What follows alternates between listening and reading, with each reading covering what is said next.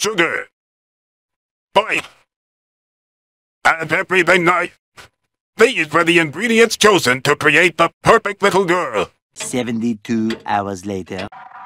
Thus, the Powerpuff Girls were born! Using their ultra superpowers, Blossom, Bubbles, and Buttercup have dedicated their lives to fighting crime and the forces of evil!